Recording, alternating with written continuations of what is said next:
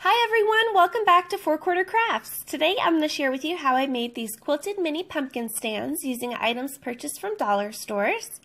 I just love the colors and the quilted patterns and textures of these. I think they're so cute for displaying my little mini pumpkin patch. so if you guys are interested in seeing how I made these, let's go ahead and get started with the supplies that I used two packs of orange quilted dishcloths, a pack of brown dishcloths, a pack of tan dishcloths, two packs of round floral foam, two packs of cups, two candlesticks, some E6000 glue, as well as a hot glue gun and some glue sticks. And then this is my pumpkin collection that I will be displaying, as well as two little straw bales also purchased from the Dollar Tree. So let's go ahead and get started. These quilted dishcloths I purchased from the Dollar Tree and I think they would be absolutely beautiful for any kitchen in fall, but I really liked the idea of using them for this project because I love the pattern of the fabric. So you're going to take your round floral foam, also purchased from the Dollar Tree, and there's two to a pack. I purchased two of them, so there's four total. And you're just going to go ahead and take one and use your hot glue and put a layer of glue around the edges. And then you're just going to stick it right in the middle and kind of hold it down for a second there.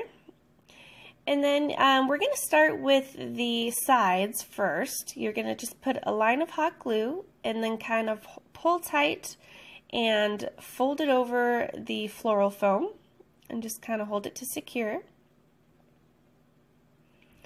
And then you are going to repeat this process on the opposite side as well. Just put a line of hot glue and then fold it up and over. And then also the same thing along each of the sides. Now the floral foam um, I really liked the idea of using because uh, you get two to a pack so you save money and then it also is a really nice height for um, kind of displaying the stands at different heights and kind of gives it more of a visual effect, I think. So anyways, moving on from that. You're just going to finish the sides. Go ahead and fold it over. And then now we're going to start with the corners. What you're going to do is kind of uh, wrap it as if you were wrapping a present. You're just going to kind of tuck the fabric inside uh, on each side right there. I'm just putting a little dotted glue on each of the sides as I tuck it. You'll see there, just tuck in the extra fabric and put a dot of glue and kind of hold it down for a minute. And then at the very tips, you are just going to go ahead and pull tight and put another dot of hot glue right at the top and then go ahead and secure the edge. Just like that. And then you are all done with the first little cute little foam base there. And then you're just going to repeat the same process for all of the different floral foams. There, like I said, there was four. So you're just going to go ahead and repeat the same process for wrapping those. And um, I there was two to a pack in each of these quilted dishcloths, so I decided to do two orange since I had two packs of those. And then with the brown and the tan, I did just one color of each for the floral foam. That way I could um, use the other two for the little white cups and add the different colors at the different um, heights. So you're just going to go ahead and repeat the same process. This is with the brown quilted dishcloth.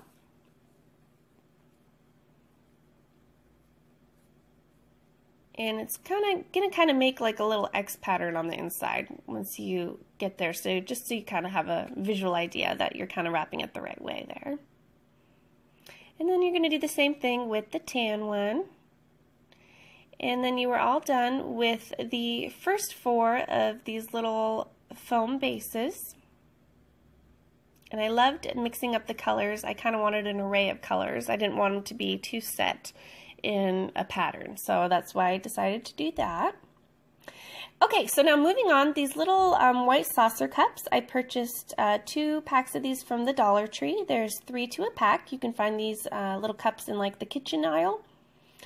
So I thought these would also be nice for adding um, another layer for the different heights and it actually, the amount of fabric covers perfectly. So Same thing with wrapping the foam. You're just going to start with the sides. You're going to put a line of hot glue and just kind of fold the sides up and then tuck them under and hold them down to dry. So here I am just finishing up um, also with the sides. I'm going to go ahead and leave the corners for last. So just another line of hot glue and then hold, holding those up to fold and dry. This one was kind of a little hard because it is smaller, so you want to kind of move the corners out of the way before you fold those up. And then you are just going to go ahead and put a little dot of hot glue at the top. And then instead of folding both of the little sides of the corner, this one you're just going to fold it um, in one direction, kind of pointing towards the middle, and then fold it over and put it down, if you can see there.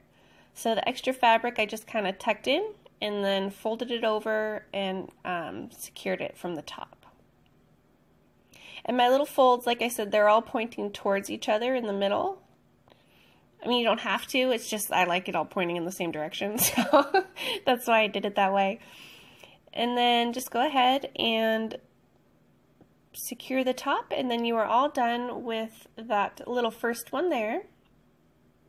And like I said, this just adds another layer of height for displaying all of my little pumpkins.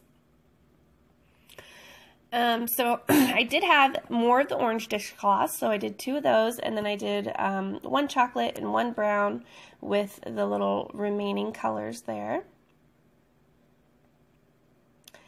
And then you are all done with those. And then to add just another layer of height, um, I got these two candlesticks. Um, these candlesticks were purchased from the 99 cent store. And as you can see, the base is more round than the ones that are purchased from Dollar Tree.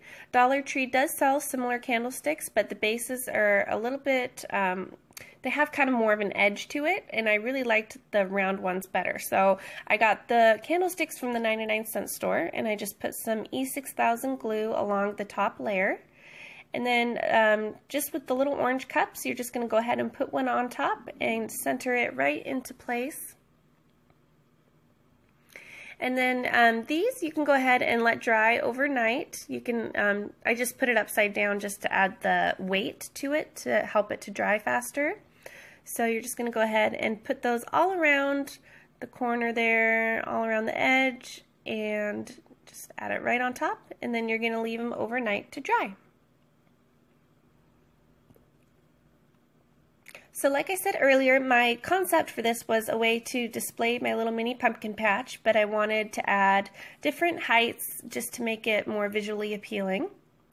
And then I also had two of those really cute little straw bales um, from the Dollar Tree that I wanted to add in there as well. So I think these turned out so, so cute. I love them.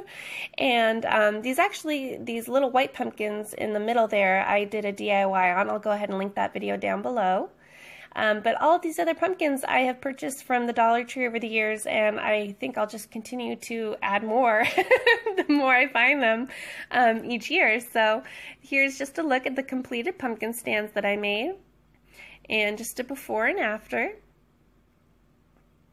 And um, yeah, I just absolutely love these, you guys. I love just the little quilted pattern and texture on these. I think it's so cute. Um, so thank you so much for watching, guys, and I'll see you in the next video.